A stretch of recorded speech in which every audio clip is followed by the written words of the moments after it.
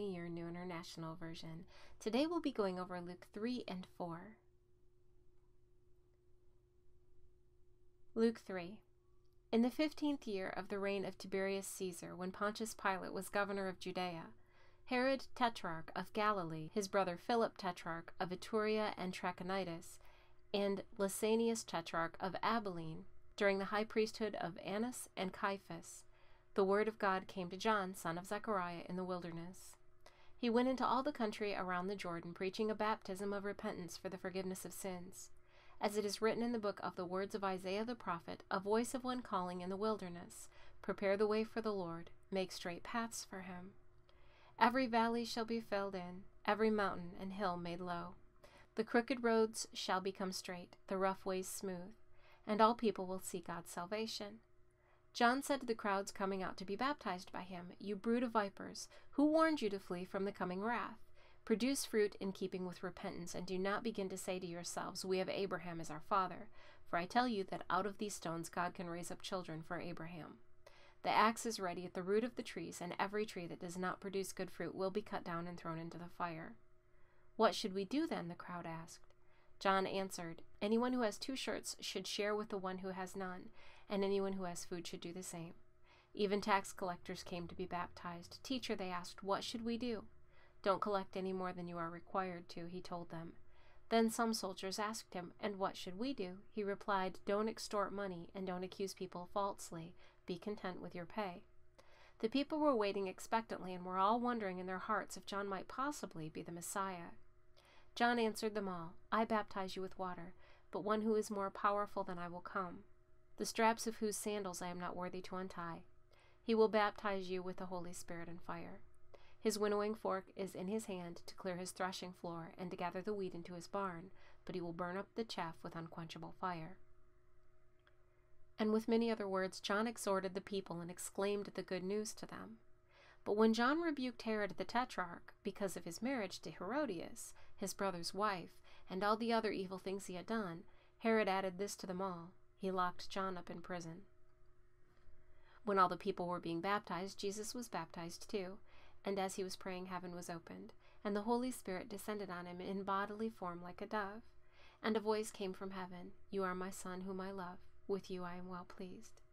Now Jesus himself was about thirty years old when he began his ministry. He was the son, so it was thought of Joseph, the son of Heli, the son of Matthat, the son of Levi, the son of Melki, the son of Jannai, the son of Joseph, the son of Mattathias, the son of Amos, the son of Nahum, the son of Esli, the son of Naggai, the son of Maath, the son of Mattathias, the son of Simeon, the son of Josek, the son of Joda, the son of Jonan, the son of Rhesa, the son of Zerubbabel, the son of Shealtiel, the son of Neri, the son of Melki, the son of Addi, the son of Cosam, the son of Elmadam, the son of Ur, the son of Joshua, the son of Eliezer, the son of Joram, the son of Matthat, the son of Levi, the son of Simeon, the son of Judah, the son of Joseph, the son of Jonam, the son of Eliakim, the son of Melea, the son of Menna, the son of Mattatha, the son of Nathan, the son of David, the son of Jesse, the son of Obed, the son of Boaz, the son of Salmon,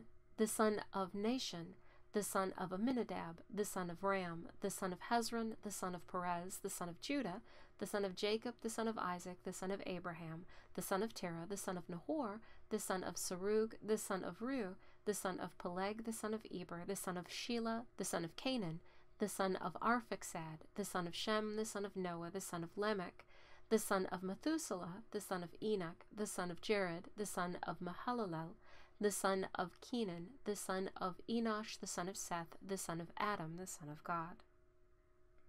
Luke 4 Jesus, full of the Holy Spirit, left the Jordan and was led by the Spirit into the wilderness, where for forty days he was tempted by the devil. He ate nothing during those days, and at the end of them he was hungry. The devil said to him, If you are the Son of God, tell this stone to become bread. Jesus answered, It is written, Man shall not live on bread alone. The devil led him up to a high place and showed him in an instant all the kingdoms of the world. And he said to him, I will give you all their authority and splendor. It has been given to me, and I can give it to anyone I want to. If you worship me, it will all be yours. Jesus answered, It is written, Worship the Lord your God and serve him only. The devil led him to Jerusalem and had him stand on the highest point of the temple. If you are the Son of God, he said, throw yourself down from here. For it is written, He will command His angels concerning you to guard you carefully. They will lift you up in their hands so that you will not strike your foot against a stone. Jesus answered, It is said, Do not put the Lord your God to the test. When the devil had finished all this tempting, he left him until an opportune time.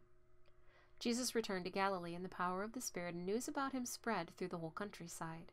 He was teaching in their synagogues, and everyone praised him. He went to Nazareth, where he had been brought up, and on the Sabbath day he went into the synagogue as was his custom.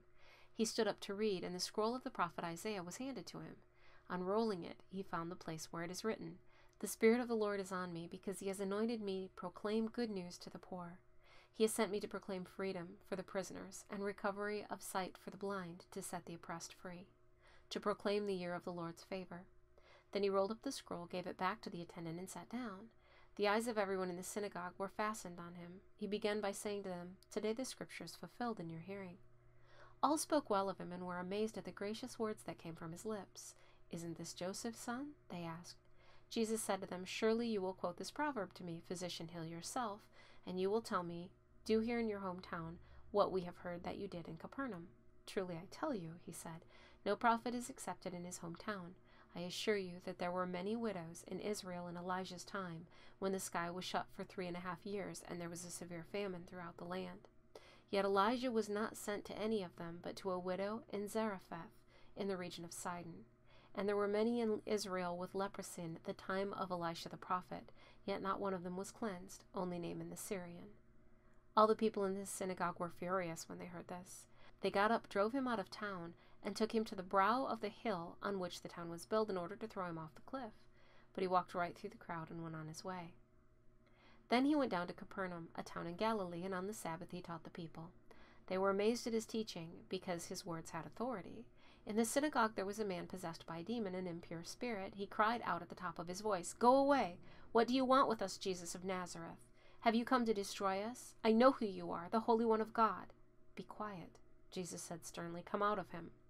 Then the demon threw the man down before them all and came out without injuring him. All the people were amazed and said to each other, What words these are! With authority and power he gives orders to impure spirits and they come out. And the news about him spread throughout the surrounding area. Jesus left the synagogue and went to the home of Simon. Now Simon's mother in law was suffering from a high fever, and they asked Jesus to help her. So he bent over and rebuked the fever, and it left her. She got up at once and began to wait on them. At sunset, the people brought to Jesus all who had various kinds of sickness, and laying his hands on each one, he healed them. Moreover, demons came out of many people, shouting, You are the Son of God. But he rebuked them and would not allow them to speak, because they knew he was the Messiah. At daybreak, Jesus went out to a solitary place. The people were looking for him, and when they came to where he was, they tried to keep him from leaving them. But he said, I must proclaim the good news of the kingdom of God to the other towns also, because that is why I was sent. And he kept on preaching in the synagogues of Judea. Thank you for joining me today for day 294 of Bible in a Year New International Version. I look forward to seeing you tomorrow for day 295.